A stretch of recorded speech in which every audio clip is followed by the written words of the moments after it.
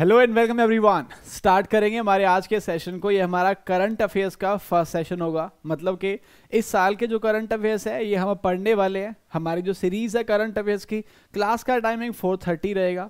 Almost एक दिन छोड़ के आपको क्लास मिलती रहेगी और इस क्लासेस के अंदर, इन क्लासेस के अंदर हम क्या कवर करेंगे? आपके एग्ज़ाम्स के लिए current affairs that too with precise manner और सब कुछ कवर करेंगे जो एग्ज़ाम में आने वाला है. साथ साथ प्रैक्टिस करेंगे क्वेश्चन भी. शुरुआत करने से पहले आपको एक छोटी सी बात बताना चाहूँगा कि अगर इस टाइम एग्ज़ाम की तैयारी कर रहे हैं ना तो इस टाइम पे बहुत हाई टाइम है खुद को संभालने का। किससे संभालने का? डिस्ट्रैक्शन से संभालने का नेगेटिविटी से संभालने का नर्वसनेस से संभालने का। कुछ लाना है अपने अंदर तो पैशन को लेके आइए पॉजिटिविटी को लेके आइए मोटिवेशन को लेके आइए। तो शुरुआत करूँगा एक बहुत ही अच्छे से कोट के साथ, क्योंकि इंसान जब कुछ करता है ना तो वो इंसान नहीं करता, उसका पैशन उसके हौसले करवाते हैं। तो अगर आप भी तैयारी कर रहे हैं, सारे लोग किसी एग्ज़ाम की तो याद रखिए, हौसले बुलंद कर रास्तों पर चल दे। हौसले होने चाहिए। हौसले बुलंद कर रास्ते पर चल दे। तुझे तेरा मुकाम मिल जाएगा। बढ़कर अकेला तू पहल कर देखकर तुझको काफिला खुद बन जाएगा। है ना? तो शुरू करिए बस। एक बार के लिए शुरुआत कीजिए। आप देखेंगे, आपको लोग फॉलो करेंगे। आज आप किसी को फॉलो करें। बस इस टाइम पे ना खुद को संभालना बहुत ज़रूरी है। बच के रहिए किसी भी तरह के डिस्ट्रेक्शन से। स्टार्ट करेंगे हमारे करंट अफेयर्स के पार्ट वन को। पार्ट वन, जहाँ पे आज हम डिस्कस करने वाले हैं एमएसपी मैं सिर्फ़ एमएसपी करवाने वाला नहीं हूँ, मैं एमएसपी के साथ साथ बहुत सारी चीज़ें और भी कवर करने वाला हूँ। वो क्या होंगी? मैं आपको शुरू करने से पहले बता देता हूँ कि हमारा जो लेक्चर होगा, इसके अंदर हम कवर क्या क्या करने वाले हैं। तो फ़र्स्ट ऑफ़ ऑल हम स्टार्ट करेंगे एमएसपी के साथ के एमएसपी यानी मिनिमम सपोर्ट प्राइस होते क्या है? उसके बाद डिस्कस करेंगे सी का रोल क्या है। हर बार सी तो सुना है, ये भी जानते हैं कि वो रिकमेंड करता है एमएसपी को बट बेसिकली रोल क्या है? क्या सिर्फ़ रिकमेंड करता है? बात करेंगे सीएससीपी की। उसके बाद सीसीईए जिसे cabinet committee on economic affairs कहा जाता है, उसका भी डिस्कशन करेंगे, जिसके चेयरमैन प्राइम मिनिस्टर साहब होते हैं। उसके बाद कॉस्ट ऑफ़ कल्टीवेशन और कॉस्ट ऑफ़ प्रोडक्शन क्या इसके बारे में जानकारी लेंगे। देन बात करेंगे मेथड ऑफ़ कैलकुलेशन कि जब हम कैलकुलेट करते हैं, किसको कैलकुलेट करते हैं? हम जब कैलकुलेट करते हैं एमएसपी को तो क्या क्या मेथड हम उसके अंदर यूज़ कर रहे हैं? उसके बाद बात करेंगे खरीफ एंड रबी के एमएसपी को। खरीफ एंड रबी के एमएसपी डिस्कस करेंगे। एंड सबसे लास्ट में, जिसमें मैंने कम से कम ढाई घंटे लगाए हैं, है ना? मैंने ऑलमोस्ट पंद्रह सोलह पेपर उठाए, जहाँ से मुझे क्वेश्चन चाहिए था, कोई ऐसा क्वेश्चन जो पूछा गया हो किसी एग्ज़ाम के अंदर तो सेंट्रल से लेके और आपके स्टेट एग्ज़ाम तक सारे के सारे मैंने यहाँ पे क्वेश्चन ऐड किए, जो भी किसी एग्ज़ाम में आए हुए हैं, ताकि आप पढ़ने के बाद समझ पाओ कि परीक्षा एग्ज़ाम आपसे किस तरह क्वेश्चन पूछ सकता है। शुरुआत करने से पहले एक बहुत इंपॉर्टेंट पार्ट के साथ कंटिन्यू करूँगा। अगर आप किसी कंपेटिटिव एग्ज़ाम की तैयारी कर रहे हैं मैं आपको एक छोटी सी बताना चाहता हूँ। जब मैं ये थर्टी मिनट्स का लेक्चर कवर करूँगा ना, आप मुझे कहेंगे, सर, सब कुछ समझ आ गया। ओवर कॉन्फिडेंट नहीं हूँ, विश्वास है कि इतनी मेहनत करिए कि तुम्हें समझा दूँगा। लेकिन फिर बता दो, सिर्फ़ समझने से कुछ नहीं होगा। अक्सर बच्चे बिना लैंग्वेज के आसान तरीके से समझना चाहते हैं। छोटा सा डाउट आए तो वो भी टीचर से ही पूछना, खुद सोल्व नहीं करते हैं। क्यों नहीं करते हैं? मैं आपको प्रूफ दिखाता हूँ कि जब तक लैंग्वेज पे कमांड नहीं है ना, तब तक हम आंसर सही नहीं कर पाएँगे। तो सेशन की स्टार्टिंग करते हैं एक बहुत ही प्यारे से क्वेश्चन के साथ आपके सामने। The price at which the government was purchasing food grain from for maintaining the PDS और public distribution system and for building a buffer stock is known as in prices को क्या बोला जाता है minimum support price, procurement price, issue price, ceiling price या फिर सेचुरिटी prices आराम से क्वेश्चन को पढ़िए, उसके बाद मुझे राइट आंसर दीजिए कि इस प्रश्न का सही उत्तर ए बी सी डी में से क्या आएगा।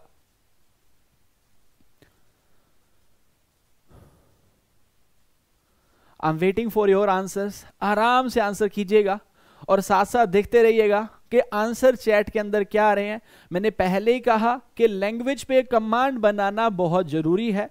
और मेरी क्लास अगर पहली बार अटेंड कर रहे हैं तो मैं इन्फॉर्मेशन आपको देना चाहूँगा। मैं पढ़ाते टाइम कमेंट्स नहीं पढ़ता और कमेंट्स पढ़ते टाइम मैं पढ़ाता नहीं हूँ। तो मैं पढ़ाना शुरू करूँगा और कमेंट्स आपके लास्ट में देखूँगा आप कुछ भी लिख रहे होंगे, मैं सिर्फ़ आंसर चेक करूँगा, बाकी मैसेज इग्नोर करूँगा। तो ये मत समझना, मैं इग्नोर कर रहा हूँ। मुझे पढ़ाना है तो पहले पढ़ाने दीजिए, बीच में कुछ मत पूछिए। सिर्फ़ टॉपिक पे रहिए। आलतू फालतू कोर्स की बातें नहीं करनी है। ठीक है? Okay so A and B A and B आपके सामने दो आंसर मुझे मिल रहे हैं। इस क्वेश्चन का राइट आंसर आएगा ना? इस क्वेश्चन का जो राइट आंसर है वो क्या आएगा? उसको समझने के लिए पहले क्वेश्चन की लैंग्वेज पे चलते हैं। क्वेश्चन कहता है the price at which the government was purchasing food grain government उसमें फ़ूड ग्रेन परचेज कर रही थी for maintaining the public distribution system PDS वो जो राशन की दुकानों में मिलता है उसको मेंटेन करने के लिए साथ साथ बफर स्टॉक को भरने के लिए, फिर बफर स्टॉक को मेंटेन करने के लिए। तो गवर्नमेंट इस प्राइस को यूज़ कर रही थी। 70 परसेंट ने कहा एमएसपी जो इस क्वेश्चन का सरासर गलत उत्तर है। इस क्वेश्चन का जो राइट आंसर आएगा, वो आएगा प्रोक्योरमेंट प्राइजेस क्यों आएगा, आपको बताता हूँ। देखिए क्वेश्चन में कहा गया गवर्नमेंट वॉज़ परचेजिंग तो गवर्नमेंट एमएसपी रेट पे फ़ूड ग्रेन को नहीं लेती है भाई, यहाँ पे फ़ूड ग्रेन लिखा गया था। गवर्नमेंट एमएसपी रेट पे फ़ूड ग्रेन भी लेती है पल्सेस भी लेती है ऑयल सीड भी लेती है 22 प्लस एक। एक मतलब शुगर केन है अदरवाइज़ 22 क्रॉप्स को एमएसपी भी लेती है। लेकिन फ़ूड ग्रेन की बात करेंगे तो फ़ूड ग्रेन को गवर्नमेंट ले रही थी प्रोक्योरमेंट प्राइजेस पे। तो आपके सामने है, आपका क्वेश्चन किस तरह से गलत हो गया? प्रोक्योरमेंट प्राइजेस का राइट आंसर आएगा। मैं अच्छे से आपको समझा दूँगा कि प्रोक्योरमेंट प्राइस क्यों आया? बिकॉज़ ये समझाने के लिए मुझे थोड़ी कहानी बतानी पड़ेगी सीएसीपी की स्टार्टिंग की। स्टार्टिंग के बाद जब मैं उनके 10 सालों का काम बता दूँगा, आप अच्छे समझ आएँगे आंसर क्यों आया बट मैंने आपको शुरुआत में ये कहा, पढ़ना और concept are not only important select होना है तो लैंग्वेज पे कमांड बनानी ही पड़ेगी, वरना ये होने वाला है है ना? चलो अब क्या करते हैं? अब पहले समझते हैं, फिर आपको पिछले क्वेश्चन का आंसर ऑटोमेटिकली समझ आएगा। मैं गारंटी देता हूँ कि एक एक चीज़ समझाऊँगा, बस मेरे साथ रहना अगले 30 मिनट्स के लिए। तो first of all what is minimum support price है क्या? देखो मिनिमम सपोर्ट प्राइस की बात करेंगे तो बेसिकली है क्या कि हमारी जो सरकार है, वो किसी भी काम के अंदर इंटरवेंशन कर सकती है, उसके पास पावर है। अगर वो कह दे कि यूट्यूब पे शाम को कोई बंदा क्लास नहीं ले सकता भाई, अगर ऑर्डर आ गए तो फॉलो करने पड़ेंगे। 2000 के नोट बंद हो गए तो गवर्नमेंट ने ऑर्डर दिया, बंद करने पड़े। तो गवर्नमेंट क्या करती है? फार्मर जो ज़्यादा इनकम जनरेट नहीं कर पाते, उनके पास ज़्यादा पैसा नहीं है तो उनको, उनकी फ़सलों की सही कीमत मिले। इसके लिए गवर्नमेंट क्या करती है? मार्केट के अंदर इंटरवेंशन करती है कि अगर किसान मार्केट के अंदर बेच रहा है और उसे उचित मूल्य, सही रेट नहीं मिल रहा तो उसे सही रेट मिलता रहे, इसके लिए गवर्नमेंट क्या करेगी? मार्केट के अंदर इंटरवेंशन करेगी और मार्केट में इंटरवेंशन करके एक फिक्स प्राइस डिसाइड कर देगी मिनिमम प्राइस डिसाइड कर देगी कि भाई इससे ऊपर बिक रहा हो तो फार्मर की मर्ज़ी। अगर उससे कम बिक रहा हो तो वो सरकार को बेच सकता है। उन्हीं प्राइजेस को जो मिनिमम प्राइस सरकार किसानों के उत्पादन के लिए, या फिर किसान जो हमारे, उनकी कम्युनिटी के लिए डिसाइड करती है those price are known as minimum support price तो मिनिमम सपोर्ट प्राइस क्या हो गया जी? रेट हो गया जिसपे गवर्नमेंट क्या करती है? परचेज करती है, या फिर प्रोक्योर करती है क्रॉप्स को किन से? फार्मर से। तो वो सरकार के द्वारा दिया गया जो मिनिमम रेट है जिसपे सरकार क्या करेगी? अलग अलग एजेंसियों के माध्यम से। अलग अलग एजेंसियाँ मतलब अगर व्हीट एंड राइस को खरीदना है तो वो फ़ूड कॉरपोरेशन ऑफ़ इंडिया खरीदता है, सरकार के द्वारा निर्धारित एमएसपी रेट पे। जूट को खरीदना होगा तो जूट कॉरपोरेशन ऑफ़ इंडिया खरीदता है। कॉटन को खरीदना होगा तो CCI cotton corporation of India खरीदता है। अगर शुगर केन को खरीदना होगा तो शुगर मिल खरीदती है प्रीवियस डिसाइडेड एफ़ पे। और ऑयल सीड और पल्सेस को खरीदना होगा एफ़ एमएसपी पे तो कौन खरीदता है? नाफेड खरीदता है। तो ये सारी गवर्नमेंट की एजेंसियाँ हैं, जो गवर्नमेंट द्वारा डिसाइड किया गया रेट के ऊपर क्या करती हैं, वस्तुओं को प्रोडक्ट्स को खरीदती हैं। ये बात तो क्लियर होगी। उसके बाद एमएसपी जो था, वो पहली बार इंट्रोड्यूस इंट्रोड्यूस वीट के लिए कब? उन्नीस सौ में। क्यों हुआ था? क्योंकि उन्नीस सौ पैंसठ के अंदर कौन आया था? सीएसीपी आया था। सीएसीपी की जो स्थापना है, वो कब होती है? वो 1965 के अंदर होती है। उसके बाद एमएसपी का सिलसिला स्टार्ट होता है। सर, इसके बाद ही क्यों होता है? क्योंकि एमएसपी वो है जिसे रिकमेंड कौन करता है? जिसे सीएसीपी रिकमेंड करता है। तो एमएसपी की जो रिकमेंडेशन है, वो सीएसीपी देता है। तो जब सीएसीपी आया, उसके बाद रिकमेंडेशन आना स्टार्ट हुई। तो सीएसीपी कब आया? 1965 में। 1965 के अंदर एफसीआई भी आ गया था। एफसीआई और सीएसीपी दोनों सेम टाइम पे आए। सीएसीपी आ गया, उसके बाद क्या हुआ? उसके बाद एमएसपी का इंट्रोडक्शन हुआ। पहली बार जो एमएसपी दिया गया, वो किस पे दिया गया? वीट के अंदर दिया गया बट ये लाइन ज़्यादा इंपॉर्टेंट है। Present system was evolved in 1975-76 sir ये क्या मतलब हुआ? अब ध्यान से समझना। हुआ क्या? जब 1965 के अंदर सी भी आया FCI भी आया, उस टाइम पे सरकार क्या करती थी? फ़ूड ग्रेन को प्रोक्योरमेंट प्रोक्योरमेंट करती थी, खरीदती थी। किसके लिए? बफर स्टॉक मेंटेन करने के लिए पब्लिक डिस्ट्रीब्यूशन सिस्टम मेंटेन करने के लिए। तो उस टाइम पे जो आपके वीट और राइस थे, उसको लिया जाता था किस पे? प्रोक्योरमेंट प्राइजेस पे। प्रोक्योरमेंट प्राइस भी हुआ करते थे उस टाइम पे। सेचुटरी प्राइस भी हुआ करते थे उस टाइम पे। ये होता क्या है? जैसा कि मैंने बोला फ़ूड ग्रेन के लिए, ना तो मैं ऑयल सीड बोल रहा हूँ, ना मैं पल्सेस बोल रहा हूँ ओनली जो सीरियल्स है और उसके अंदर भी कौन? वीट एंड राइस तो वीट एंड राइस को सरकार खरीदती थी प्रोक्योरमेंट प्राइस पे।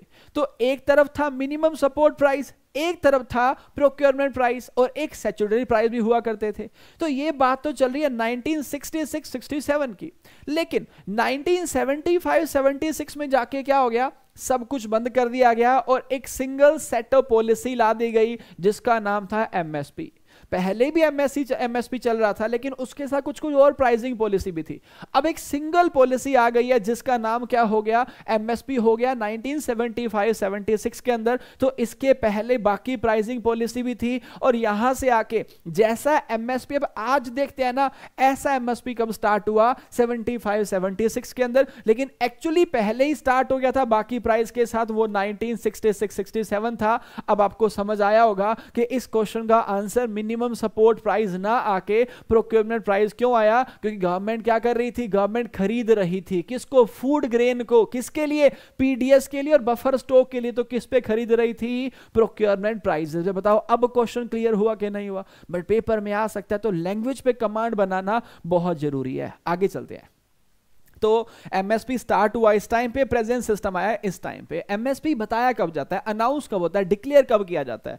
अभी वाला जो एमएसपी है, शायद ये 18 अक्टूबर को बताया गया था। आज मैं ये क्लास ले रहा हूँ, कब? पाँच नवंबर को ले रहा हूँ।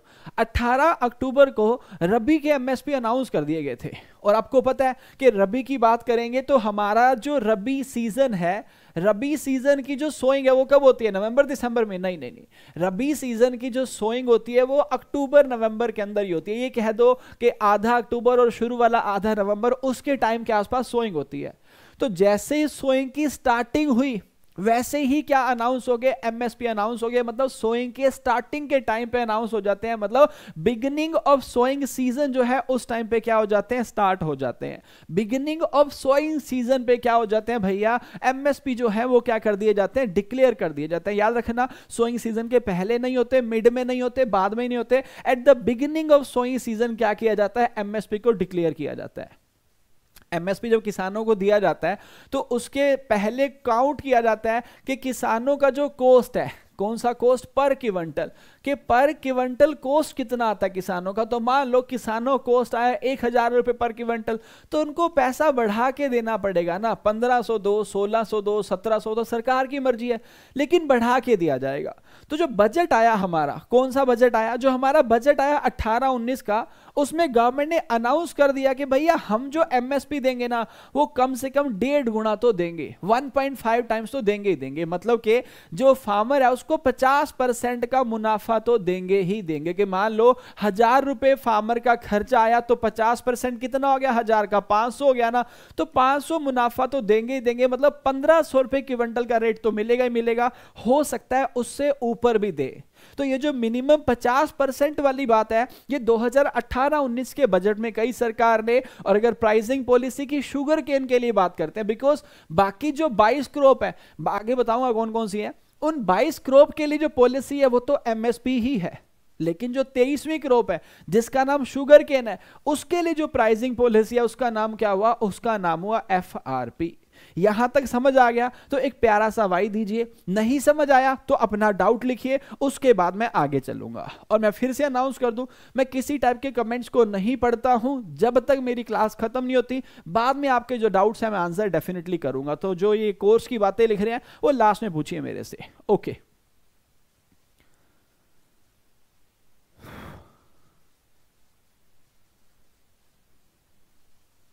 ठीक है जी, ये वाली बात सबको समझ आ गई है। एमएसपी क्या होते हैं, वो समझ आ गया। कब क्या चेंज हुआ, ये भी समझ आ गया। अब बात कर लेते टोटल क्रॉप्स कितनी है? अक्सर ये झगड़ा चलता रहता है, बच्चों के ग्रुप्स के अंदर डिस्कशन चल रहा है। मुझे इन ग्रुप से ये भी पूछना होता है मतलब मुझे नहीं पूछना, मैं कौन हूँ पूछने वाला? पर ये ग्रुप के अंदर जब बच्चे डिस्कस कर रहे होते हैं तो कौन से वहाँ पे ऑथेंटिक सोर्स बैठे हुए जो डाउट्स का आंसर करेंगे? मैंने शुरुआत करते टाइम कहा कि डिस्ट्रैक्शन से बचिए। ये ग्रुप से मुझे लगता है डिस्ट्रैक्शन है है ना? बच्चा अच्छा भला माइंड में लेके बैठा है ट्वेंटी टू प्लस वन किसी ने ग्रुप में चौबीस कह दिया, वो बेचारा माथा मार रहा है। उस ग्रुप के अंदर पूछ रहा है, वहाँ पूछ रहा है गूगल पे सर्च कर लिया, आधा घंटा वेस्ट कर लिया बेमतलब का। अच्छा भला पता था, नुकसान कर लिया। इसलिए ये जो एग्ज़ाम के पास का टाइम होता है ना डिस्ट्रैक्शन से बहुत बचने का टाइम होता है। अगर बात करते हैं किसकी, बात करते हैं टोटल क्रॉप्स अंडर एमएसपी देखिए, मैंने शुरुआत में बोला कि शुगर केन के लिए जो पॉलिसी है ना, वो एफआरपी है। फेयर एंड रिमरनेटिव प्राइजेस है। ये पीछे फुल फॉर्म भी लिखी हुई थी। शुगर केन की जो पॉलिसी है, वो है फेयर एंड रिमरनेटिव प्राइजेस जिसे एफआरपी कहा जाता है। ठीक है? तो अगर एमएसपी की बात करेंगे ना तो एमएसपी के अंडर में तो क्रॉप्स आती है 21 लेकिन एक जो है, वो डिसाइड होता है शुगर केन के लिए, जो अपने आप में एफआरपी है। तो टोटल तेईस हो जाती है। है ना? लेकिन 22 प्लस एक हुई, ये चीज़ ध्यान रखनी पड़ेगी बिकॉज़ एमएसपी 22 के लिए है। एक जो है वो तेईस में शुगर केन है। लेकिन सर, अगर शुगर केन के लिए एमएसपी नहीं है एफआरपी है तो फिर साथ में इंक्लूड क्यों कर रहे हो? क्योंकि उसकी रिकमेंडेशन भी सीएसीपी ही करता है। एमएसपी ही एमएसपी की और सी सॉरी एमएसपी की, साथ साथ एफआरपी की, दोनों की रिकमेंडेशन जो है सीएससीपी करता है और दोनों का ही डिसीज़न मेकिंग जो है वो किसके पास है? गवर्नमेंट ऑफ़ इंडिया कह दो मिनिस्ट्री ऑफ़ एग्रीकल्चर कह दो, या फिर cabinet committee on economic affairs कह दो, इनके पास है। तो इसीलिए कितना हो गया? 22 प्लस एक।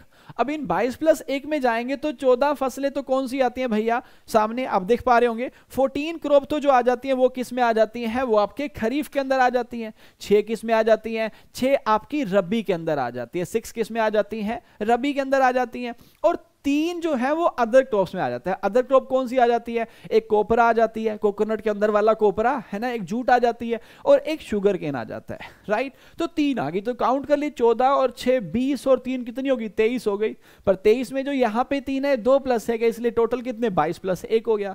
या फिर इस तरह से डिवाइड ना करके ऐसे डिवाइड करें।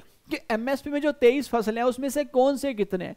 तो सबसे पहले तो सीरल्स आ गए सीरल्स कितने आ गए सीरल्स आ गए आपके सेवन कौन कौन से सेवन सीरल्स हैं? देखो वीट एंड राइस तो सबसे पहले क्लियर है। फिर मेज आ जाता है, फिर आपका सोघम आ जाता है, फिर पल मिलेट आ जाता है, फिर बारले आ जाता है और फिर क्या आ जाता है? आपका बारले के बाद इट शुड बी रागी, है ना? एक रागी आ जाता है। तो सेवन सीरियल्स के लिए डिसाइड किया जाता है कौन कौन सेवन सीरियल्स हो गए आपके। पैडी हुआ वीट हुआ मेज हुआ सोरघम हुआ पाल मिलेट हुआ बारले हुआ रागी हो गया। सेवन तो सीरियल्स हो गए।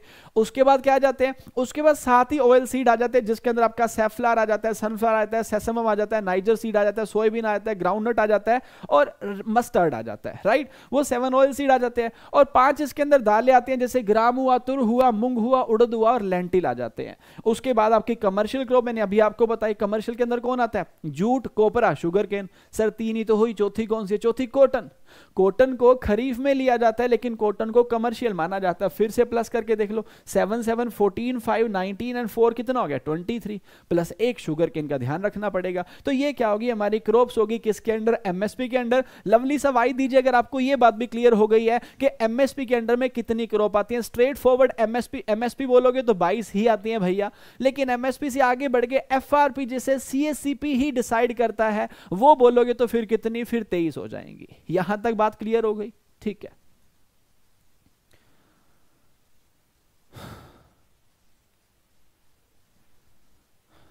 आगे चलते हैं।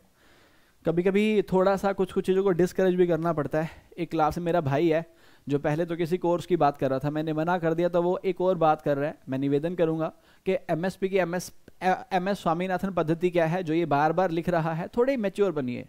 आप अगर इस प्लेटफॉर्म पे तो यहाँ पे मेच्योर बच्चे ही आते हैं। बारहवीं के बाद वाले कम होते हैं ग्रेजुएशन वाले ज़्यादा मेच्योर बनिए अभी आगे आने वाला मैं पहले आपको दिखा देता हूँ, फिर ही पढ़ा दूँगा, ऐसे दिक्कत हो जाएगी। भाई तो देखिए, यहाँ पे जो स्वामीनाथन जी की पद्धति ना, वो यहाँ आने वाली है। पर वो क्या है ना कमेंट्स में बच्चे वाई लिखने आए हैं। आप एक मैसेज को बार बार लिखेंगे, बच्चा डिस्टर्ब होता है। ना जाने क्यों यूट्यूब अच्छा प्लेटफॉर्म कब बन पाएगा?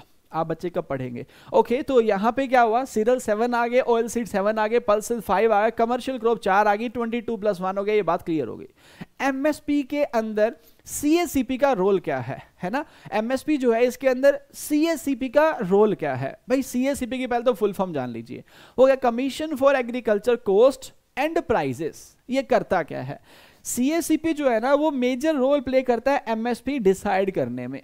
सर डिसाइड तो एमएसपी करता ही नहीं है। हाँ ठीक बोल रहे हो। डिसाइड करवाने के अंदर सीएसीपी मेजर रोल प्ले करता है। अगर आप मेरे से पूछोगे, सर, कैसे पढ़ाई करें? मैं बोलूँ, ऐसे ऐसे पढ़ाई करो। अब तुम मेरे कहने पे अगर पढ़ाई कर रहे हो तो रिकमेंड तो मैंने किया था बट कर तुम रहे हो। लेकिन रिकमेंड करना कंपलसरी है ना, जब तक पता ही नहीं होगा तो फिर कैसे बात चलेगी, है ना? तो नहीं हो पाएगी तो ऐसे ही सी है। सीएसीपी जो है, जैसा कि मैंने शुरू में बताया था सीएससीपी कब आया था? 1965 में। और उसी टाइम पे कौन आया था? 1965 में एफसीआई भी आ गया था। तो एफसीआई और सीएससीपी दोनों सेम टाइम पे आते हैं। उसके बाद अगर बात करें, जो 1965 में आया था ना, उस टाइम इसका नाम था एग्रीकल्चर प्राइस कमीशन एएसपी है ना? एपी एपीसी एपीसी बोले तो एग्रीकल्चर प्राइस कमीशन 1965 में। लेकिन जो इसका नाम आज आप पढ़ते हैं ना commission for agriculture cost and price ये कब हुआ था? ये 1985 के अंदर हुआ था। तो ध्यान रखना 65 में पुराना नाम है और 85 के अंदर नया नाम हो गया। चेयरमैन जो है ये प्रोफेसर विजय पॉल शर्मा है। काम क्या है सीएससीपी का? वो सबसे बड़ी बात आपको याद रखना पड़ेगा। ये कैलकुलेशन करता है। किस मेथड से करता है, आगे बताने वाला हूँ। ये कैलकुलेशन करता है एमएसपी की साथ साथ उसे रिकमेंड करता है। वो बताता है सरकार को कि भाई इतना खर्चा हो रहा है किसानों का और इतना एमएसपी होना चाहिए। होगा कि नहीं होगा, वो फाइनल नहीं है। लेकिन इतना होना चाहिए। और उसके बाद क्या करता है? ये पब्लिश करता है। किसको पब्लिश करता है? ये पब्लिश कर देता है एमएसपी को। पब्लिश कर देगा मतलब ये उसके बता देगा, भैया, इतना क्या हो गया? एमएसपी हो गया। लेकिन अनाउंस करने की बात नहीं करी गई है। डिसाइड करने की बात नहीं करी गई है। सिर्फ़ इतना बोला गया कैलकुलेट करता है रिकमेंड करता है और साथ साथ क्या करता है? ये पब्लिश करता है। ये वाली बात क्लियर हो गई। ठीक है, आगे चलते हैं। अब यहाँ तो कोई डाउट आया तो लिखना, जो यहाँ तक पढ़ाया उसमें से डाउट आया हो तो लिखना ताकि दोबारा एक्सप्लेन कर सकूँ। उसके बाद बात करते हैं अबाउट वेरियस प्राइस प्रोसेस तो जैसा कि मैंने बताया रिकमेंड तो कौन करता है? सीएससीपी इतना एमएसपी होना चाहिए। तो एमएसपी को रिकमेंड तो करता है सीएससीपी कैलकुलेशन की बात कर ले या फिर एस्टिमेशन की। कि कितना खर्चा आ रहा है किसानों का तो कैलकुलेशन भी कौन करता है? सीएससीपी लेकिन अनाउंसमेंट की बात करो डिसीज़न मेकिंग की बात करो, या एमएसपी फिक्सिंग की बात कर दो फिक्सिंग मतलब एमएसपी फिक्स करता है, वो कौन करता है? वो गवर्नमेंट ऑफ़ इंडिया करती है, या फिर सीसीए करता है, या फिर क्योंकि सीसीए तो गवर्नमेंट का ही पार्ट है ना सीसीई जो है cabinet committee economic economic affairs इसके चेयरमैन ही हमारे प्राइम मिनिस्टर यानी नरेंद्र मोदी जी हैं। और साथ साथ ये कौन डील करेगा इसे? Ministry of agriculture and farmers welfare तो आपसे पूछा जाए एमएसपी कौन डिसाइड करता है तो ministry of agriculture and farmers welfare भी उत्तर हो सकता है गवर्नमेंट ऑफ़ इंडिया भी हो सकता है और सीसीई भी आंसर हो सकता है। लेकिन एमएसपी जो है, वो कोई लीगल गारंटी नहीं है। बस सरकार कहती है कि हम क्या करेंगे, हम एमएसपी रेट पे लेंगे तो जितनों से ले पाएँगे लिया जाएगा, लेकिन सबसे नहीं लिया जाएगा, क्योंकि एमएसपी प्राइसिंग पॉलिसी है, लेकिन ये लीगल एक्ट या फिर कोई गारंटी नहीं है कि सबसे लिया ही जाएगा। बिकॉज़ गारंटी होगी तो किसान फिर केस कर सकता है गवर्नमेंट के अगेंस्ट जा सकता है कि भाई आपने गारंटी दी थी। But MSP is not a guarantee it's a pricing policy policy है कि लिया जाएगा। तो जितना गवर्नमेंट ले पाएगी, उतना लेगी, बाकी लोगों से नहीं लिया जाएगा। यहाँ तक क्लियर है? ठीक है ओके कोई डाउट नहीं है? है ना? चलो, आगे चलते हैं, यहाँ तक सारे लोग क्लियर है। प्रोसेस मैंने आपको समझाई। अब आते हैं मेथड ऑफ़ कैलकुलेशन पे। और एक हमारे दिल खुश दिल खुश मीना साहब जी हैं। मीना नहीं है, दिल खुश सिंह है। दिल खुश का दिल खुश करते हैं बिकॉज़ वो इसी पॉइंट पे थे। तो अब शायद इनका दिल खुश होगा। क्यों होगा? क्योंकि एमएसपी के मेथड की बात करते हैं कैलकुलेशन मेथड की बात करते हैं। तो एमएसपी के जो कैलकुलेशन मेथड है, वो तीन होते हैं। कौन कौन से तीन होते हैं मेरे साथ साथ बोलिए। पहला होता है ए मैथड दूसरा होता है A two plus F L method और तीसरा कौन सा होता है? तीसरा होता है सी टू मैथड तीन मैथड कौन कौन से आगे? A two A two plus F L और सी टू बहुत सिंपल है। सिंपल कैसे है इसको समझना पड़ेगा आपको? कैसे समझना पड़ेगा? अगर मैं आपसे पूछूँ कि आप जब एग्रीकल्चर करते हो, खेती जब करते हो तो खेती में आपके क्या क्या खर्चे आते हैं? क्या आप मुझे चैट के अंदर बताएँगे कि आप जब खेती करते हैं तो खेती में क्या क्या आपके खर्चे आते हैं? कौन कौन से काम होते हैं जिसपे तुम्हें पैसा इन्वेस्ट करना पड़ता है? तो मुझे आंसर मिल गया एंड ऑफकोर्स आप सही बोल रहे हो। है ना? अगर इन्वेस्टमेंट की बात करें, खर्चे की बात करें तो हमारा जो खर्चा आता है, वो किन कामों पे आता है? वो खर्चा जो है, जैसे सीड लिखा गया ऑफ़ कोर्स ये सीड पे खर्चा आ सकता है फर्टिलाइज़र पे आ सकता है है ना? या फिर वेजेस लिखा गया वेजेस मतलब जो मजदूरी होती है, दिहाड़ी होती है मजदूर की, उस पर भी आएगा। तो इस तरह से सीड हुआ इनपुट हुआ फर्टिलाइज़र हुआ लेबर हुआ, इस पर हमारा खर्चा आएगा। तो इनपुट कॉस्ट काउंट कर लिया जाता है। मतलब कि अलग अलग इनपुट पे कितना खर्चा आया? टोटल जो खर्चा आया, उसको डिवाइड कर लिया जाता है कितने क्विंटल प्रोडक्शन हुआ। तो टोटल खर्चा डिवाइडेड बाय टोटल क्विंटल तो पर क्विंटल खर्चा आ गया आपका। तो आपने यहाँ पे क्या किया?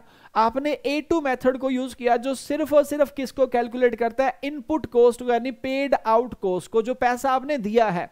चाहे इरिगेशन के लिए दिया हो, चाहे सीड के लिए दिया हो, चाहे लेबर को दिया हो फर्टिलाइज़र को दिया हो या पेस्टिसाइड को दिया हो, जितना खर्चा आया वो काउंट कर लिया गया ये कौन सा मेथड है? ए टू मेथड है। लेकिन अगर इस मेथड की बात करूँगा तो अब सारे लोग जानते हैं कि जब हम खेत में काम करते हैं तो हमारी फैमिली भी साथ में काम कर रही होती है। अगर आप फ़ार्मिंग कम्युनिटी से हैं तो आप भी खेत जाते होंगे, खेत में काम करते होंगे। अगर आपने शाम को काम किया तो क्या होता है? शाम तक काम करने पर क्या आपके फादर आपको बोलते हैं कि ये ले बेटा, आज तेरी दिहाड़ी लेके जा तीन सौ रुपए? नहीं बोलते भाई ऐसा। क्यों नहीं बोलते? फैमिली तो अनपेड लेबर है। फैमिली पेड लेबर नहीं है। फैमिली को पैसा दिया नहीं जाता। पर अगर पैसा नहीं दिया जा रहा तो क्या उस फैमिली की वैल्यू नहीं है? क्या उसकी लेबर की वैल्यू नहीं है? ना यार? तो वो पैसा भी तो जुड़ना चाहिए ना यार? उसे भी तो इनपुट कॉस्ट के अंदर काउंट करना चाहिए। उसको भी तो खर्चे के अंदर शामिल करना चाहिए बिकॉज़ खर्चे के अंदर शामिल करोगे, तभी तो खर्चा ज़्यादा दिखेगा। और सरकार को जब खर्चा ज़्यादा दिखेगा, तभी तो किसान को सही रेट मिल पाएगा। तो भाई, किसान को सही दाम मिले, इसके लिए फैमिली लेबर तो काउंट करना पड़ेगा। तो family labour A two method में काउंट नहीं होता, इसलिए फिर अगला मैथड आ जाता है, जिसे कहा जाता है A two plus F L A two तो आपका ऊपर वाला ही आ गया, जो आपने पिछला देखा था। ए टू मेथड हमारा जो हो गया, वो कौन सा हो गया? वो तो इनपुट कॉस्ट हो गया। पर एफ़ एल मेथड की बात करें तो ए टू के साथ जो अब की बार एफ़ एल जुड़ा है ना, वो क्या जुड़ा आपका? वो फैमिली लेबर ही जुड़ा है। तो यहाँ पे हमने क्या कर दिया? Value of unpaid family labour को भी जोड़ दिया।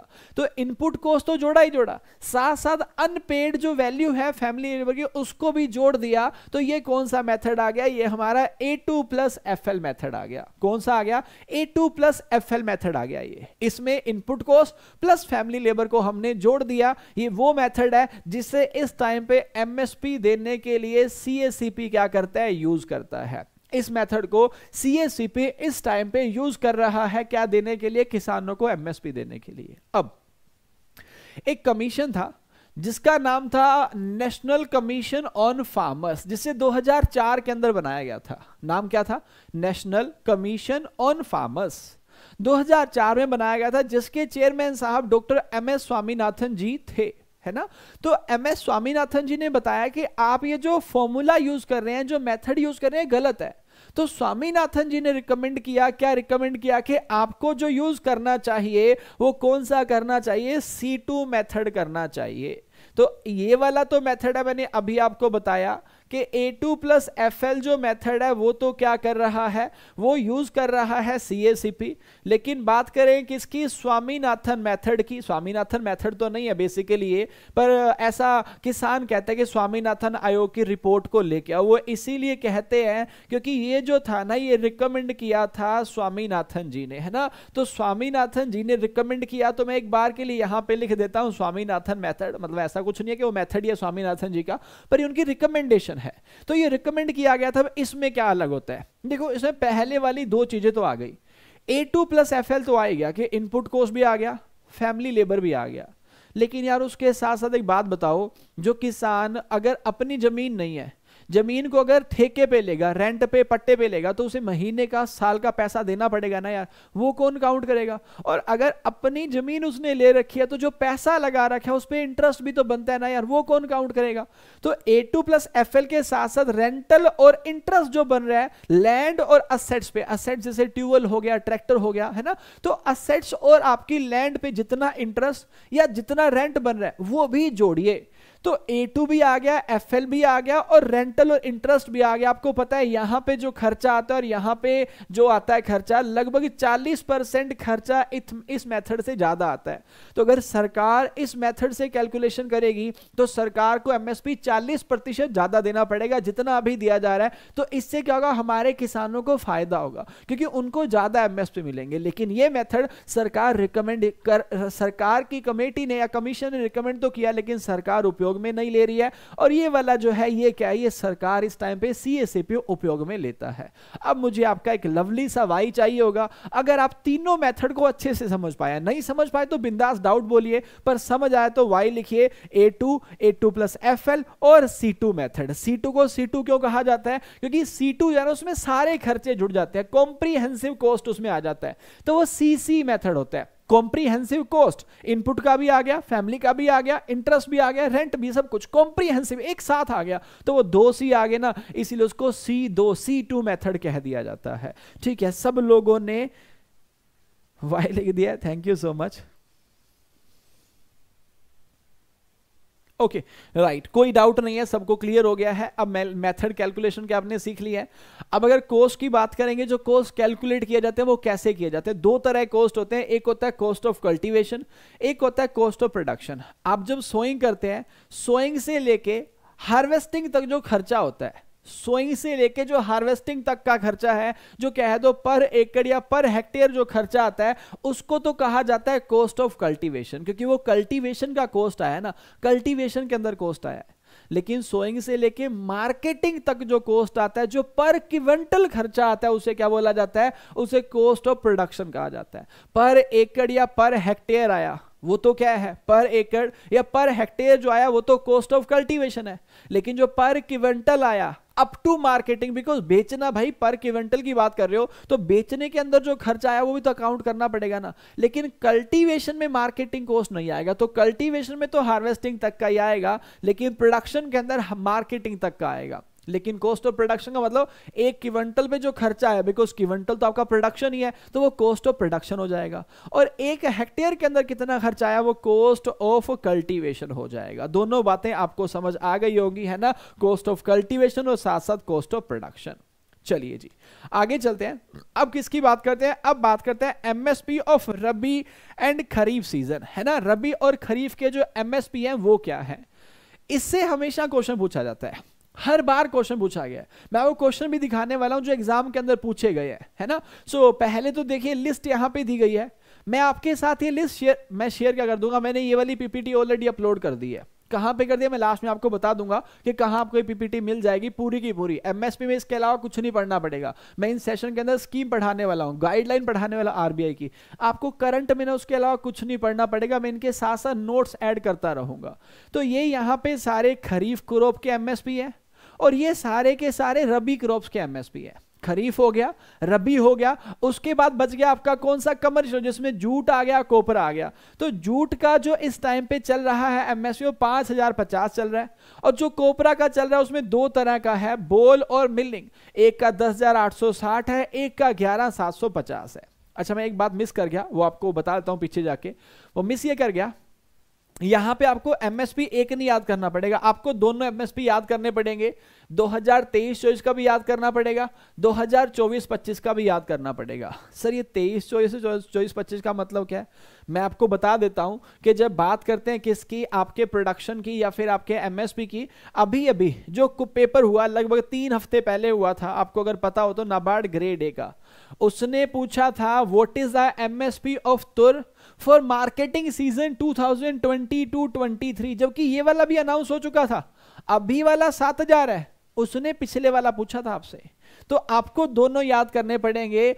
बाईस, तेईस का, तेईस, चौबीस का और यहाँ पे तेईस, चौबीस और चौबीस, पच्चीस। सर, ये क्या साल क्यों बदल रहे हैं? देखिए जी, जब तो आप खरीफ की बात करेंगे तो खरीफ वाला तो चलेगा बाईस, तेईस या फिर तेईस, चौबीस। अभी रबी जैसे आने वाला है। अभी रबी स्टार्ट हो गया। तो अब देखिए ना, तेईस, चौबीस का मतलब क्या हो गया?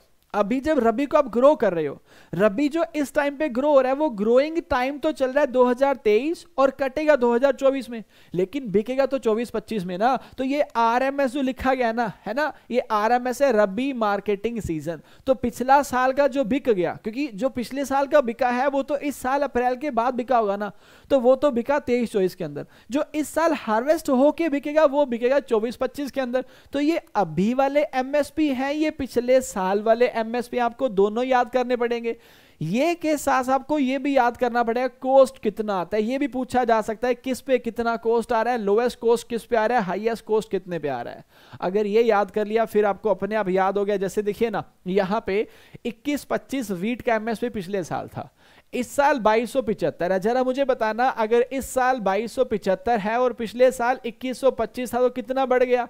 बढ़ गया, अगर देखेंगे तो भैया ज़ीरो से ज़ीरो हो गया, और कितना आ गया? सात में से दो गया तो पाँच आ गया, दो में से एक, दो में से दो ज़ीरो। एक सौ पचास में बढ़ गया तो ये यहाँ पे लिखा गया। आपको याद नहीं करना पड़ेगा ये। ये तो आप खुद भी कैलकुलेट कर लेंगे, है ना? तो वन फिफ्टी रुपीज़ क्या किया गया? पिछले साल से इंक्रीज कर दिया गया। तो आपको समझ आ गया होगा कि कल्टिवेशन जो हम 2023 के अंदर कर रहे हैं ना वो हार्वेस्ट होगी अप्रैल 2024 के अंदर।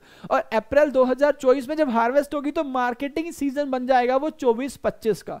तो अभी वाली फ़सलों के लिए ये वाला एमएसपी है 24-25 का एमएसपी है। उम्मीद करता हूँ मार्केटिंग सीज़न आइटम आपको समझ आ गई होगी। यहाँ पे रबी मार्केटिंग सीज़न लिखा गया है, उधर खरीफ मार्केटिंग सीज़न लिखा के खरीफ मार्केटिंग सीज़न आर क्या हो गया आपका? Rabi marketing season. बाकी जूट और कोपरा के लिए आपको बता दिया और जो शुगर केन के लिए है, वो एमएसपी नहीं है, वो कितना है? एफआरपी और ये आपको पहले से ही पता होगा, शुगर केन का जो एफआरपी है, वो कितना है? तीन सौ पंद्रह रुपए क्विंटल है। कितना है? तीन सौ पंद्रह रुपए क्विंटल है। और जो तीन सौ पंद्रह रुपए क्विंटल शुगर केन का एफआरपी है, ये ten point two five percent recovery rate पे है।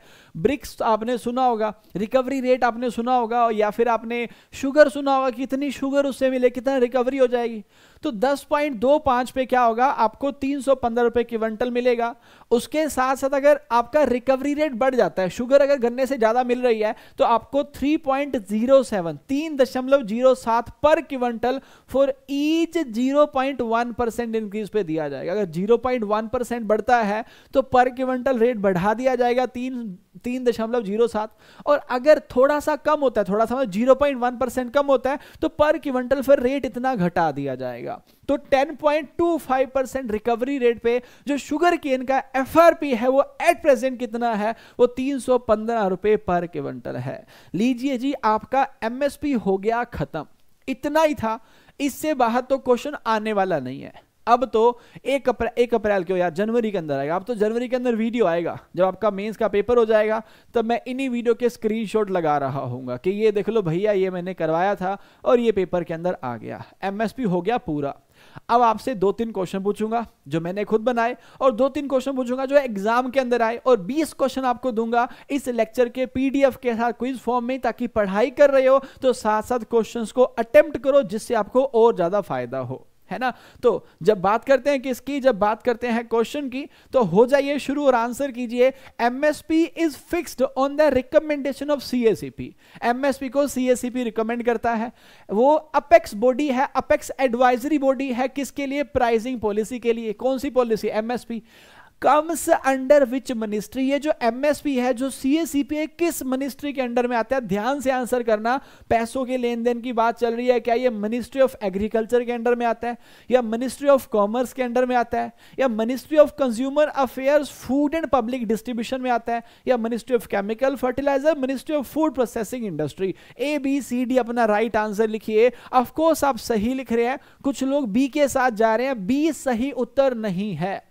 Ministry of commerce and industry के अंडर में अपेडा तो आता है, क्योंकि वो कॉमर्स का पार्ट है बिज़नेस का पार्ट है। लेकिन एमएसपी जो है, वो ऑब्वियसली मैंने शुरुआत में कहा भी था आपको गवर्नमेंट ऑफ़ इंडिया या मिनिस्ट्री ऑफ़ एग्रीकल्चर के अंडर में आते हैं। तो यहाँ पे जो राइट आंसर आएगा, ये मिनिस्ट्री ऑफ़ एग्रीकल्चर आएगा, अगला question minimum support price is fixed on the basis of मेरा क्वेश्चन है ही नहीं। मैंने तो एक ऑप्शन ऐड कर दिया, क्योंकि ए एफ़ पाँच आते हैं ना, चार आए हुए थे। और आप देखेंगे पेपर में क्वेश्चन आया है, और आपको आंसर करने में ज़ोर आने वाला है इसको। और इसीलिए कहा मैंने ढूँढने के लिए ईमानदारी से तीन घंटे लगाए हैं लगभग। पीपीटी में चार, साढ़े चार लग गए होंगे। लेकिन कितना टाइम तो मुझे क्वेश्चन ढूँढने में लगा और देखो ये कहाँ से उठाया मैंने? प्री पीजी एंट्रेंस जो राजस्थान के अंदर आता तो इसने कहा कि एमएसपी जो है, वो किस बेस पे फिक्स किया जाता है? एवरेज कॉस्ट ऑफ़ प्रोडक्शन पे टोटल कॉस्ट ऑफ़ प्रोडक्शन पे long run average cost of production पे कॉस्ट ऑफ़ कल्टीवेशन पे या एवरेज कॉस्ट ऑफ़ कल्टीवेशन पे? चलो मैं तुम्हारी हेल्प कर देता हूँ। कॉस्ट ऑफ़ कल्टीवेशन तो नहीं आएगा। एवरेज कॉस्ट ऑफ़ कल्टीवेशन भी नहीं आएगा। टोटल कॉस्ट ऑफ़ प्रोडक्शन भी नहीं आएगा। अब रह गया ए और सी जरा बताइए राइट आंसर क्या आएगा? और ऐसे ही प्रश्न एग्ज़ाम के अंदर आते हैं और आप देख सकते हैं अच्छे अच्छे लोग फंस गए हैं।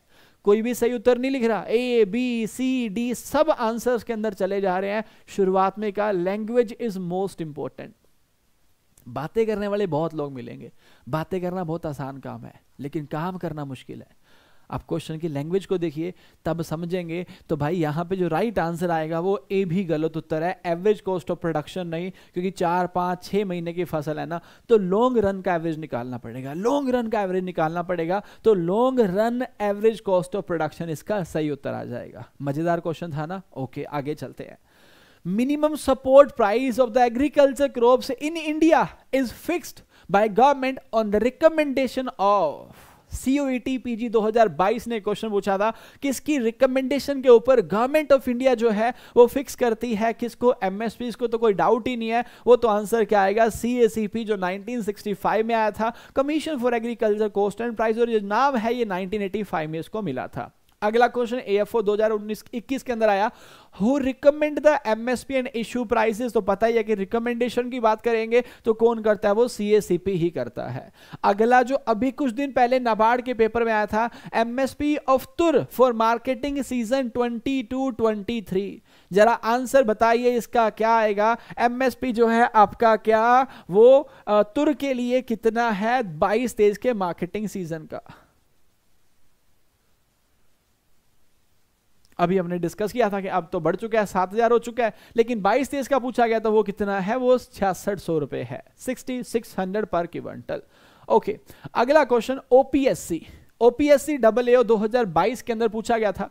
The difference of the government minimum support price and market price which is paid directly to the farmers कि सरकार एक न्यूनतम मूल्य देती है। मार्केट में पैसा कम मिल रहा है तो सरकार उतना पे करेगी, न्यूनतम मूल्य तय करेगी। ये काइंड ऑफ़ सब्सिडी हो जाता है। ये डब्ल्यूटीओ के किसके अंडर में आता है? ग्रीन बॉक्स सब्सिडी में ब्लू बॉक्स में पिंक बॉक्स में एम्बर बॉक्स में या फिर गोल्डन बॉक्स में? आपके सामने है। एमएसपी से क्वेश्चन है। मेरा है ही नहीं। एग्ज़ाम का क्वेश्चन मैंने उठाया है और आप भी देखेंगे, अब सही आंसर नहीं मिल रहा होगा जबकि 2022 के अंदर आया है। तो मैं फिर से बता दूँ, सिर्फ़ कॉन्सेप्ट से कुछ नहीं होगा। होगा कमांड बनानी पड़ेगी। लैंग्वेज पे भी और पैटर्न पे किस तरह क्वेश्चन पूछे जा सकते हैं? आंसर दीजिए फिर मैं आपको आंसर बताता हूँ कि इस क्वेश्चन का जो राइट आंसर है वो क्या आएगा।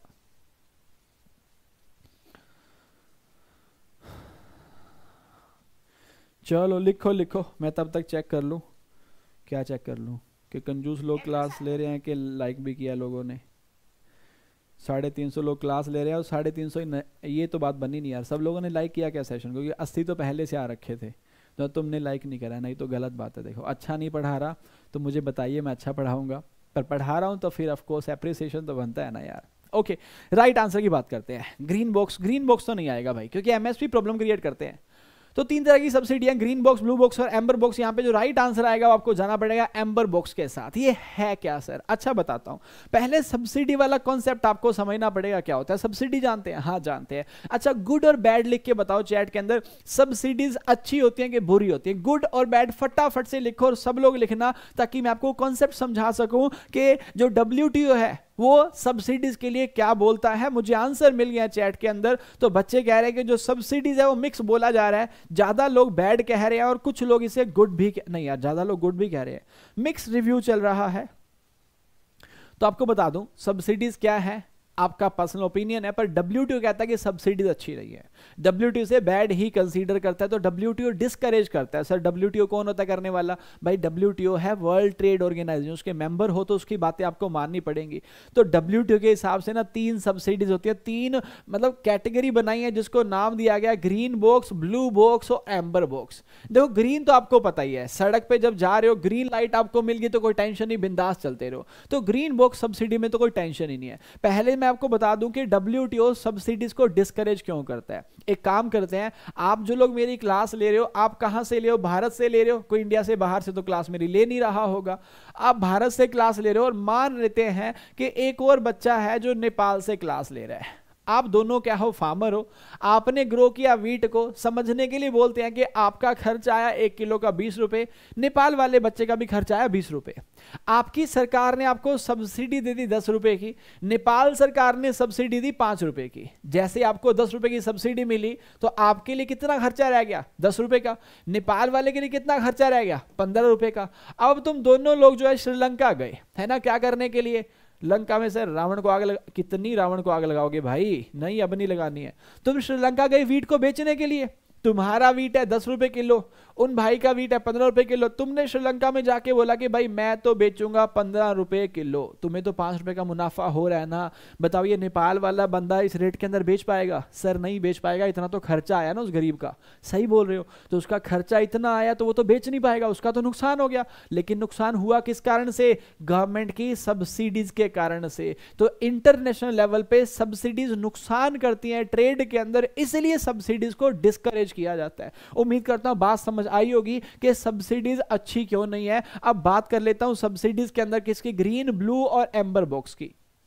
इन बॉक्स की बात करते हैं भाई लोगों तो ग्रीन बॉक्स सब्सिडी तो ग्रीन कह रहा है, कोई दिक्कत नहीं है, चलने दो। तो ग्रीन बॉक्स सब्सिडी जो होती है ना, वो तो क्या है नॉन ट्रेड डिस्टोर्टिंग है मतलब ट्रेड को कोई नुकसान नहीं पहुंचाती है। जैसे जो सब्सिडी सरकार देगी रिसर्च के लिए, बीमारी कंट्रोल करने के लिए, या फिर इंफ्रास्ट्रक्चर डेवलपमेंट सड़कें बनाने के लिए, सुविधाएँ लाने के लिए तो डब्ल्यू कैटा दे दो यार, कोई दिक्कत नहीं है। ये तो तुम बढ़िया काम ही कर रहे हो रिसर्च करवाओ, नई वेराइटी लेके आओ, हमें क्या दिक्कत है? तो ये वाली तो है ग्रीन बॉक्स सब्सिडी इसमें कोई चक्कर नहीं है, दिया जा सकता है। लेकिन ग्रीन से आगे ब्लू बॉक्स में ना डब्ल्यू कहता है कि ये जो है ना, ये considered as less trade distorting वो तो नॉन ट्रेड डिस्टोर्टिंग है कि भाई ट्रेड को कोई दिक्कत ही नहीं होती, इनसे करो।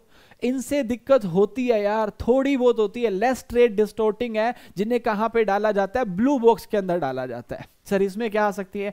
इसके अंदर क्या आ सकता है कि अगर मान लो गवर्नमेंट ने मार्केटिंग फ्री कर दी कि भाई अब अगर तुम्हें गाँव से लेके आना है तो गाँव से शहर तक लानी जो ट्रेन है ना, वो हमारी ट्रेन में लेके आओ फ्री है तुम्हारे लिए ट्रेन तो वो क्या हो गया? वो काइंड ऑफ़ ब्लू बॉक्स में जाएगा, जो थोड़ा बहुत प्रॉब्लम कर सकता है, ज़्यादा नहीं करेगा।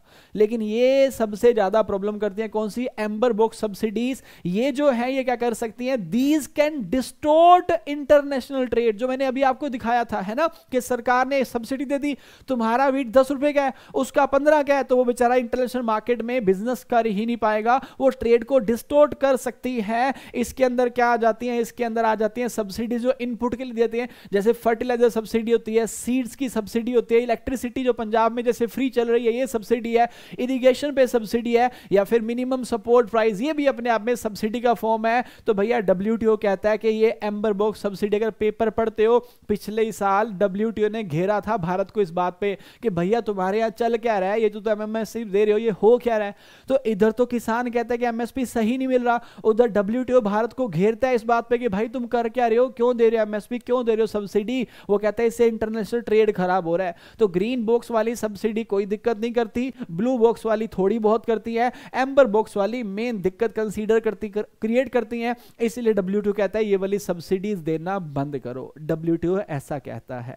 आप क्या कहते हैं? आपको समझ आ गया तो यस कहिए नहीं आया तो नो कहिए। तीन सब्सिडी मैंने पढ़ाई और मैंने दिखाया आपको कि मेरा क्वेश्चन नहीं है एग्ज़ाम के अंदर आया हुआ है। हर बार कहता हूँ मेरा टेलीग्राम चैनल फॉलो करोगे तो आपको वन लाइनर क्वेश्चन नहीं मिलेंगे स्टैंडर्ड क्वेश्चन दिखेंगे? क्यों? जैसा पेपर आएगा ना, वैसा ही हम क्वेश्चन डालेंगे। बच्चे को मुश्किल तो लगेगा। आपको फ्री टेस्ट में दे रहा हूँ। कल जो टेस्ट आपका होने वाला अगर आप लाइव दिख रहे हो तो कल वाला टेस्ट थोड़ा डिफ़िकल्ट है। कल वाला नहीं, शायद परसों वाला। कल वाला तो पहले से अपलोड था।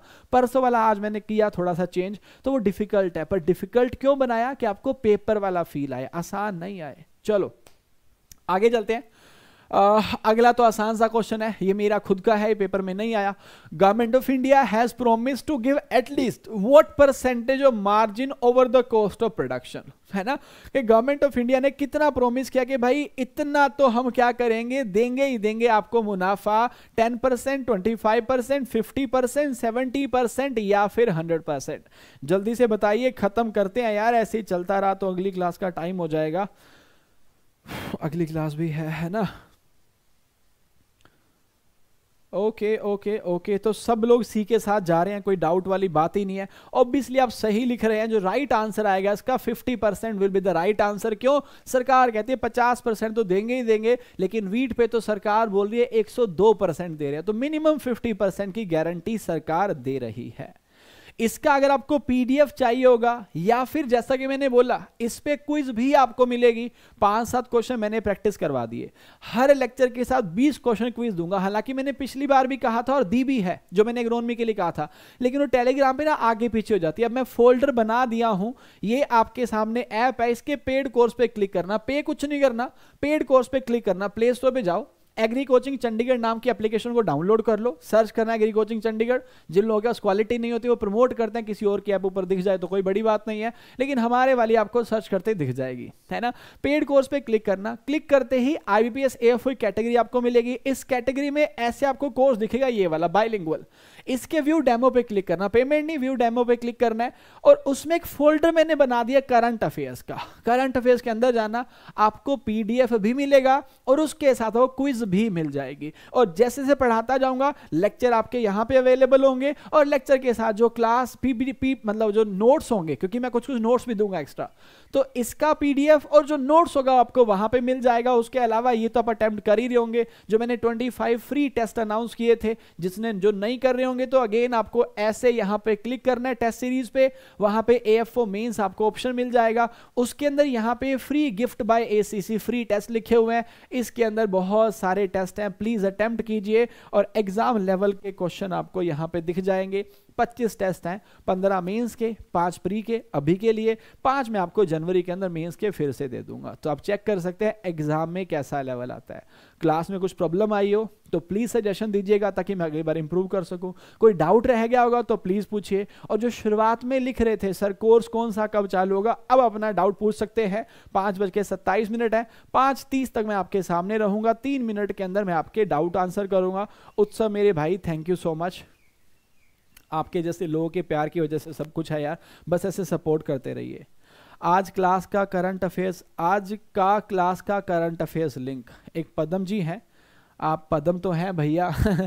आप क्लास का लिंक बोल रहे हैं। लिंक मिल जाएगा सर है ना? यूट्यूब के ऊपर क्लास है आज। आज पाँच बजे नहीं, साढ़े चार बजे हमारी यूट्यूब पे क्लास स्टार्ट होगी। वहाँ पे आप उसको अटेंड कीजिएगा। एमएसपी को डिसाइड कौन करता है? जी ओ I S C C E A agree भाई तुमने ध्यान से नहीं सुना। सी सी ई और जियो आई में कोई फ़र्क नहीं है। क्यों नहीं है? गवर्नमेंट ऑफ़ इंडिया तो गवर्नमेंट अब मोदी जी हैं कि गवर्नमेंट ऑफ़ इंडिया है? भाई गवर्नमेंट ऑफ़ इंडिया का पार्ट हुए ना मोदी जी। तो गवर्नमेंट ऑफ़ इंडिया ही डिसाइड करता है, पर गवर्नमेंट ऑफ़ इंडिया की कमेटी है, जिसका नाम है सी सी ई ए है ना? C C E A cabinet committee on economic affairs तो गंगाधर ही शक्तिमान है भाई। गवर्नमेंट ऑफ़ इंडिया बड़ा नाम हो गया ना। अब आप बोलोगे, सर गवर्नमेंट ऑफ़ इंडिया करता है कि मिनिस्ट्री ऑफ़ एग्रीकल्चर करता है? तो गवर्नमेंट ऑफ़ इंडिया बड़ा हो गया। उसके अंदर मिनिस्ट्री ऑफ़ एग्रीकल्चर आ गया। आप बोलेंगे, सर मिनिस्ट्री ऑफ़ एग्रीकल्चर करता है कि department of agriculture and cooperation करता है? भाई department of agriculture and cooperation करता है। तो ध्यान से सीक्वेंस को समझिए। Department of agriculture and cooperation ही करता है which comes under ministry of agriculture and farmers welfare ministry of farmers and ministry of agriculture and farmers welfare comes under government of India, उसके अंदर एक कमेटी है जो है सी तो कोई टेंशन नहीं है, सर। वो आपका ही पार्ट है, आपका पार्ट मतलब सेम आंसर है। ओके ठीक है ठीक है ठीक है। सर बताया कौन सा क्लास है आज छः बजे? अच्छा वो आपके लिए नहीं है। That class is for English medium student तो वैसे वो पेड क्लास है, वो छः बजे है बट मेरी क्लास है ना, मुझे जाना पड़ेगा। तो I have next one minute कोई डाउट है तो पूछ सकते हैं। और देखिए, शुरुआत में जो कह रहे थे ना कोर्स कब चालू करोगे? वो है ही नहीं अभी, क्योंकि पढ़ता नहीं है बच्चा, बस कमेंट्स ये सब ये सब बुरी आदतें हैं तुम्हारे अंदर, जो तुम पढ़ते नहीं हो पर ये सब करते हो। अब वो कोर्स वाला बंदा है ही नहीं जो शुरू में था। पेशेंस ही नहीं है ना हमारे अंदर। तो प्लीज़ खुद को डेवलप करो इस तरीके से कि सिलेक्शन हो सके इस साल, है ना? गाना सब गा लेते हैं ना कि कुछ ऐसा कर कमाल कि तेरा हो जाऊँ। पर आईपीएस का होना है ना तो उसके लिए बहुत कुछ करना भी तो पड़ता है ना यार। तो तेरा होने के लिए मेहनत तो करनी पड़ेगी। ओके पी डी चेस थैंक यू सो मच कोई डाउट नहीं बचा भाई, सारे डाउट्स आंसर हो गया आकाश पांडे, हिंदी में नहीं मिलेगी भाई, ये हिंदी थी। इसकी हिंदी नहीं कर सकता यार। ये हिंदी ही थी। जूट की हिंदी क्या करूँगा? जूट को अब जूत लिखूँगा मतलब जूट लिखूँगा। नहीं लिख सकता ना यार। अब जूट को जूट ही लिखना पड़ेगा, बस वो जे यू टी ई है। उसको जय ऊ की मात्रा और फिर टै कर दूँगा तो वो जूट तो जूट ही रहेगा भाई। कोपरा कोपरा ही रहेगा। एमएसपी एमएसपी रहेगा। वो कहो तो न्यूनतम समर्थन मूल्य कर देता हूँ उसको। भाई ये हिंदी ही है। थोड़ा इंग्लिश पढ़िए। कहो तो कर दूँगा, कोई दिक्कत नहीं है। लेकिन उतना हिंदी इंग्लिश आपको पढ़ना पड़ेगा। Okay, Rahul says teach English, sir. Rahul, as I told or as I informed everyone, my class will start again at 6 p.m. That is for English medium batch only. And in that batch also, I'm going to teach the same topic and that too in English only. Fully English. So, so you can attend that session but unfortunately that is not free. That session is available in the paid course of english medium. You can go to our application and buy the course anytime. We are teaching in three mode that is full english medium bilingual medium as well as full hindi medium. So i'll end this session right now. I'll see you again in with the next current affairs session. So till then take care. Bye bye have a great time. Enjoy your evening. Enjoy your sunday. And uh, start your monday with the full energy and revise everything. And for revision use that scientific formula or scientific approach which i told you in the yesterday's video 13730 i'll see you in the next class. Till then take care. Bye bye jai hind. Jai bharat